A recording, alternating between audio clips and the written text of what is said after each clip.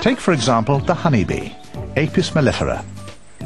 We tend to think of them as hard-working honeymakers, their sole purpose to provide us with a perfect accompaniment for toast. The trouble starts when they appear in places you don't expect them.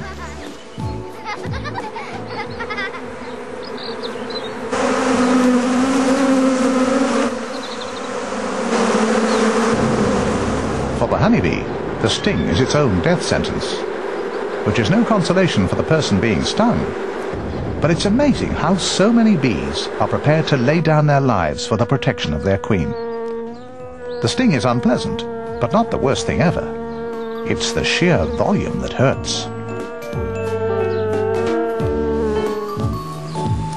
Wasps, Vespula vulgaris, have narrower hips and more distinct colors. They move around in much smaller gangs.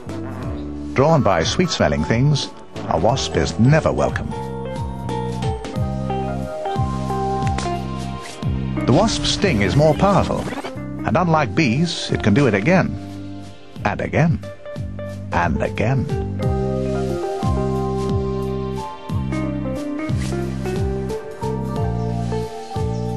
Then, waiting for an unwary rambler, there's the hornet. Vespa crabro, the queen of them all. A creature you don't want to meet on a dark night, or even on a well-lit day. Everything upsets a hornet, and you certainly don't want to stir up this nest.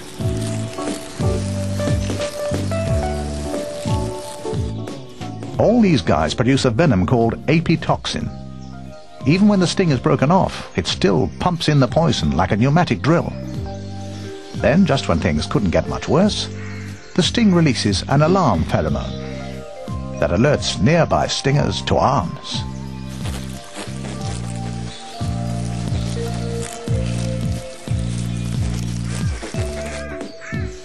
And there's more than a sting in the tail.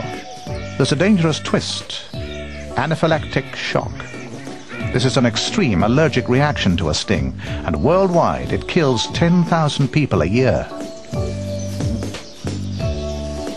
But the drive for the sweet stuff sees people all over the world recklessly disregarding the pain to get at the pleasure.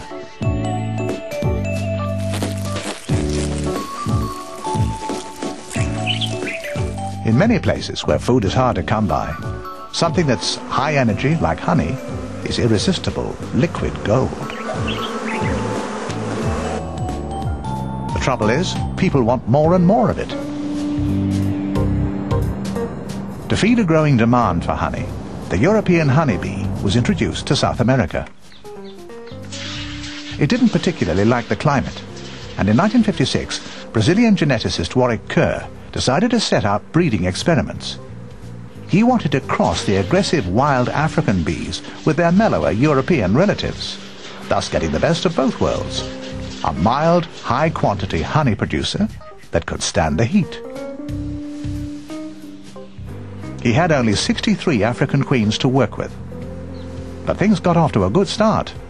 They flourished. And then, disaster. Some helpful bloke removed the plugs keeping the queens in. This apiarist had unwittingly released 26 angry African queens into the wild.